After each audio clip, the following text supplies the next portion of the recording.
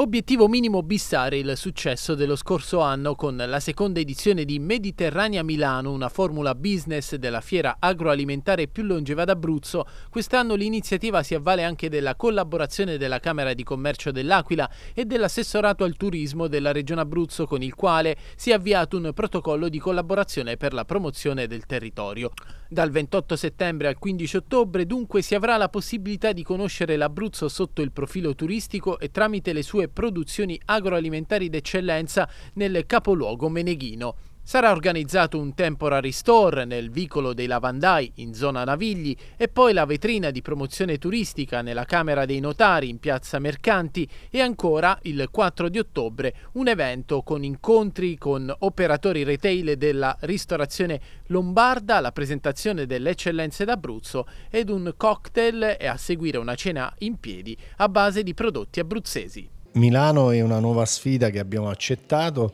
noi come Camera di Commercio insieme alla, alla Regione al Turismo e alla, alla Camera di Commercio dell'Aquila. Noi Mediterranea qui su, sul territorio è un'edizione ormai che va benissimo è di successo per cui abbiamo accettato questa sfida di Milano che è un parterre più importante. Tutti insieme, così le Camere di Commercio, così le associazioni, le sigle sindacali, Confindustria, insomma tutti coloro, eh, le DMC, le PMC, insomma tutti coloro che partecipano e al, allo sviluppo eh, del turismo della nostra regione sappiamo, eh, sanno, sanno, quanto importante sia fare sistema. Fare sistema porta ricchezza non solo al turista ma a tutti coloro che vivono in questa eh,